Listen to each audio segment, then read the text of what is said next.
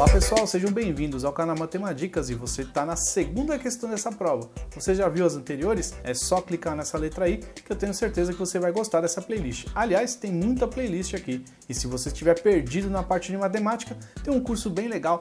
Olha o primeiro link aqui na descrição desse vídeo ou então no iCard que vai te ajudar bastante. Esse curso é voltado para concurso público, eu tenho certeza que vai te ajudar na parte básica de matemática, ok? Essa questão, o enunciado dela está aqui na descrição desse vídeo aqui no YouTube. Para você não perder mais nenhum vídeo, não deixe de se inscrever aqui no canal, ativar as notificações e também você pode visitar lá no site de Matemáticas que tem muito conteúdo bacana. O enunciado dessa questão vai ficar aqui na descrição desse vídeo, mas tem figura e ainda não dá para colocar figura aqui no, na descrição ainda no vídeo do YouTube. Então você pode visitar lá no site de Matemáticas ou então você dá um pause no vídeo agora que eu vou colocar a questão na tela e aí depois você acompanha a resolução aqui comigo, ok? Então, foi!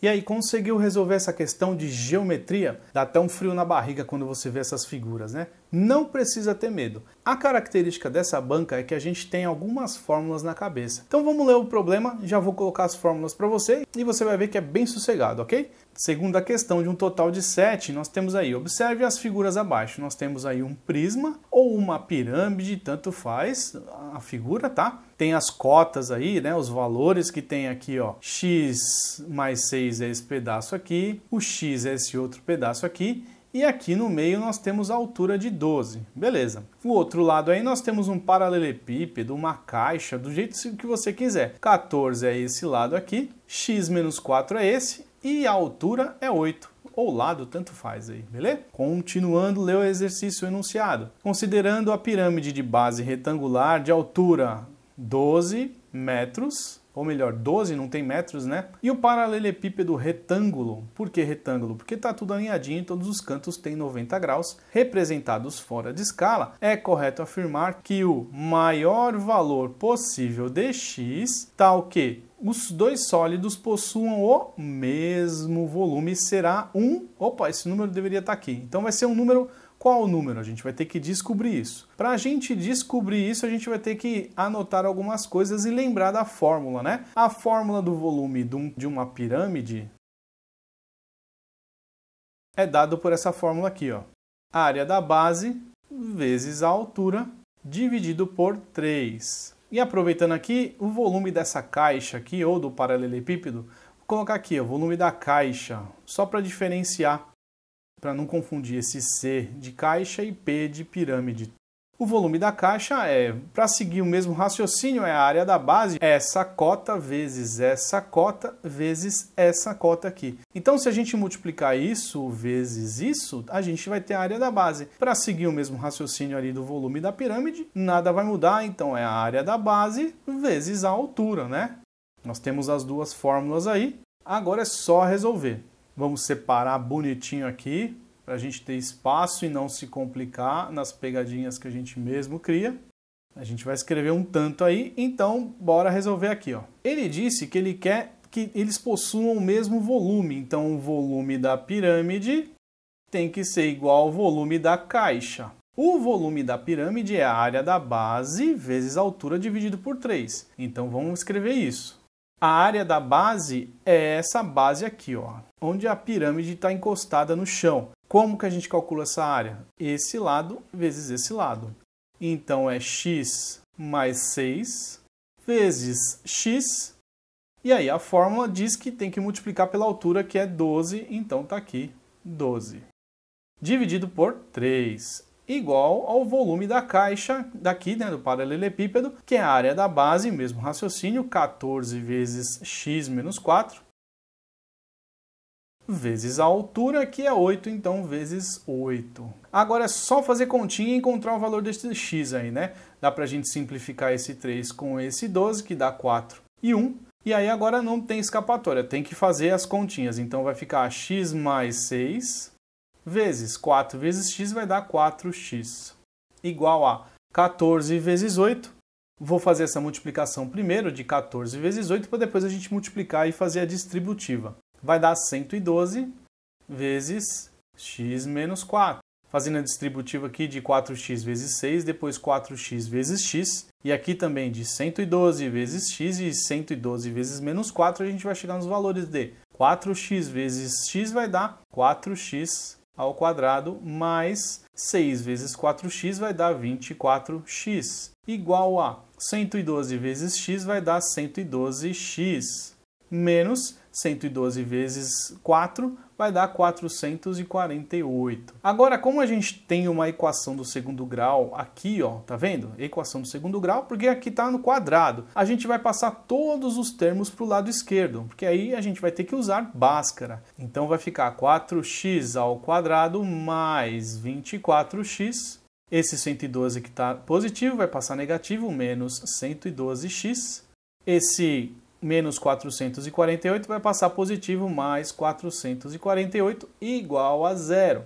Fazendo as continhas aqui vai ficar 4x quadrado, fazendo aqui ó, 24x menos 112x, a gente vai chegar no valor de menos 88x mais 448 igual a zero. Aqui já daria para colocar na fórmula de Bhaskara, mas dá para simplificar tudo, todos os termos aqui por 4. Por que, que a gente faz isso? Para evitar a quantidade de contas, certo? Então a gente vai dividir todo mundo aí por 4.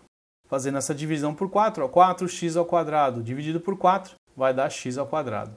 Menos 88 por 4 vai dar 22x, mais 448 dividido por 4 vai dar 112 igual a zero. Beleza, a gente tem essa equação aqui. Então a gente vai ter que descobrir o valor de x aqui. Descobrindo o valor de x, a gente quer o quê? Olhando aqui, ó, o maior valor possível. Beleza, e como que a gente descobre o valor de x aqui? Agora eu vou olhar no teu olho e falar assim, ó, hoje você vai usar a fórmula de Bhaskara, certo? Então vamos usar a fórmula de Bhaskara. A fórmula de Bhaskara,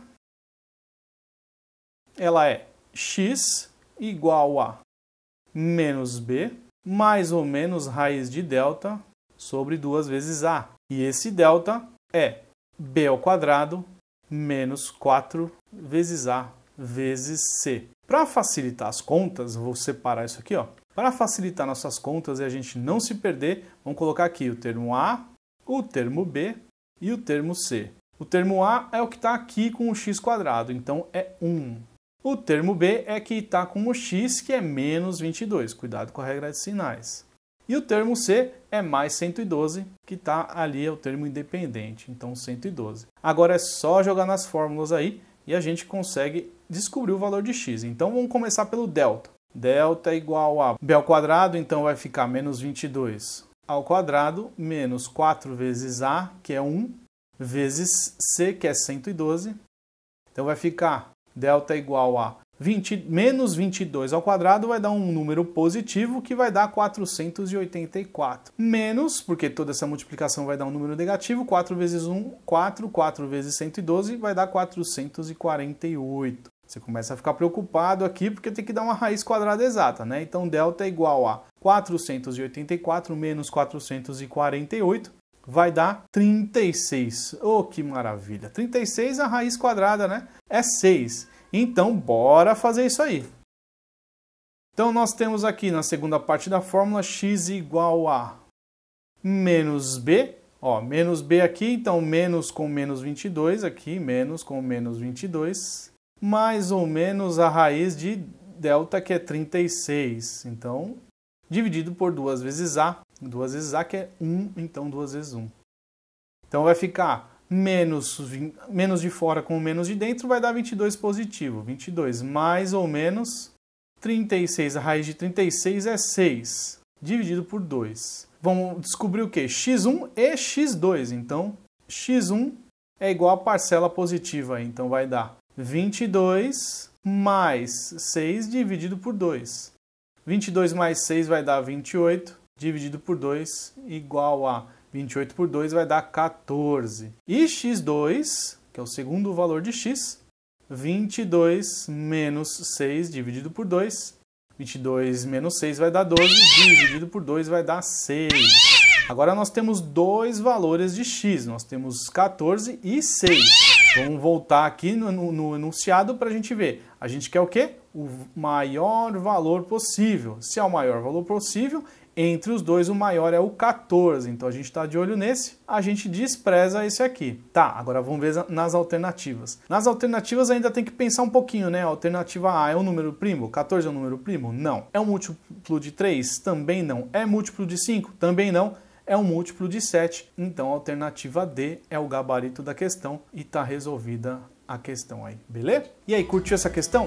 Tinha que ter bastante conhecimento prévio, né, de matemática. Volto a falar, se você tem dificuldade nisso, dá uma olhada no meu curso, é o primeiro link aqui na descrição desse vídeo e com certeza você vai ficar muito bom em matemática. Muito obrigado por assistir essa questão até aqui, não deixe de se inscrever aqui no canal e se você se enroscou em algum lugar, volta o vídeo, vai anotando devagarzinho que eu tenho certeza que você vai conseguir. Ó. Não deixe de se inscrever aqui no canal se valeu a pena, compartilhar com os amigos e a gente se vê na próxima questão dessa prova, beleza? Dá uma olhada aí na playlist. Muito obrigado e tchau!